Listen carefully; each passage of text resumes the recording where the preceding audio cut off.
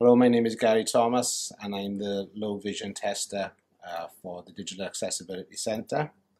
Today we're doing um, Access IQ website and uh, I'll just uh, take you through a few problems which we've encountered, particularly the areas with the um, this pink on this background here.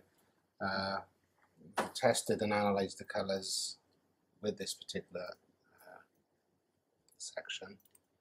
So if I just get the color analyzer up.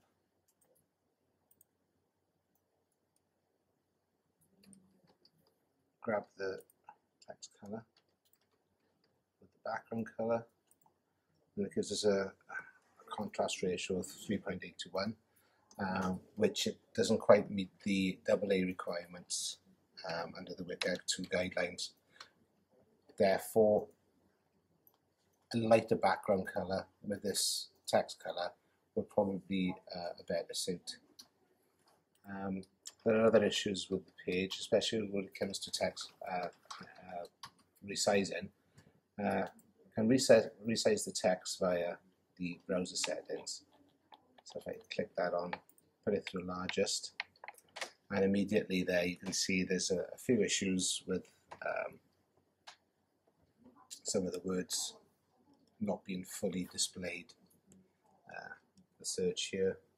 Again not fully displayed and course this section here which is not entirely displayed within its box. Um, obviously because these are probably fixed widths or fixed size or fixed backgrounds the enlarged text is, isn't uh, uh, you know, uh, able to be resized properly. Um, another issue here with the carousel when the carousel actually changes, the text isn't actually displayed. Again, that needs a revision to try and put right. Um, I think highlighting is fine. Uh, there are some improvements that could be made, especially in this area here. Um, there is a slight color change on mouse over.